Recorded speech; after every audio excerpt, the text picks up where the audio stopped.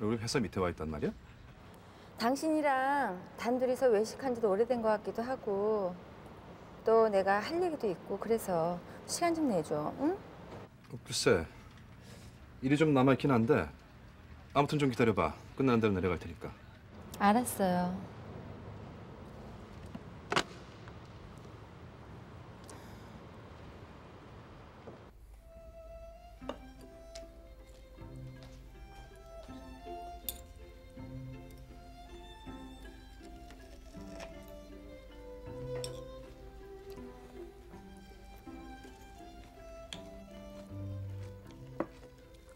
선선이 시간 내줘서 좀 놀랬어.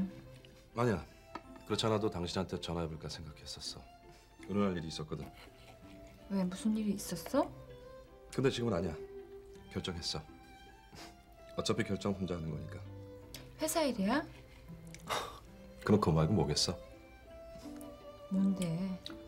참 당신이 할 얘기란 뭐지?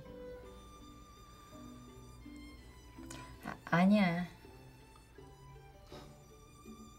당신하고 마리아한테 신경 좀 써달라는 부탁이라면 그냥 접어둬 늘 신경 쓰고 있으니까 아니 그런 얘기는 아니었고 저기 우리 이번 주말쯤에 시간 내서 야외로 나갔다 오면 어떨까?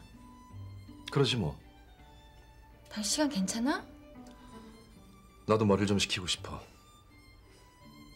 그래.